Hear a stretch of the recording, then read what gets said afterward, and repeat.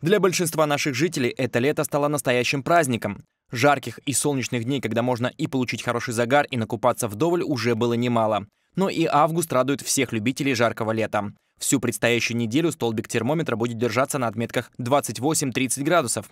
И даже если вы намереваетесь проводить эти дни на пляже, не стоит слишком безрассудно относиться к палящему солнцу.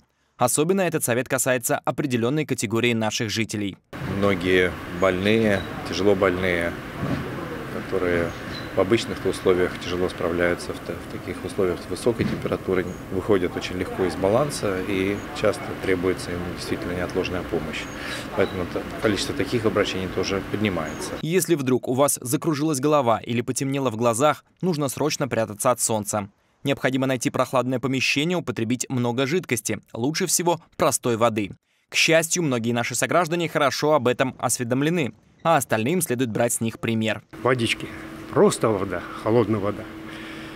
Ну, у меня в холодильнике там одна бутылка опустеет холодной водой, наливаю, беру другую, и вот меняю вот так. Как-то избегать солнца, вот в тени больше проводить время и не давать физических нагрузок. И еще важно, если вы чувствуете, что в такую погоду у вас обостряются хронические заболевания, и вам кажется, что если выпить на одну таблетку больше, чем прописал врач, и станет легче, так вот, без консультации с врачом этого делать категорически нельзя. Всем пожилым людям нужно быть очень осторожными в такую погоду. Прогулки лучше совершать в ранние или вечерние часы, когда пик солнечной активности проходит. Не забывайте головной убор и бутылочку с водой. Об этом, собственно, нужно помнить всем нашим жителям. И ни в коем случае не злоупотреблять алкоголем. Последствия могут быть очень печальными.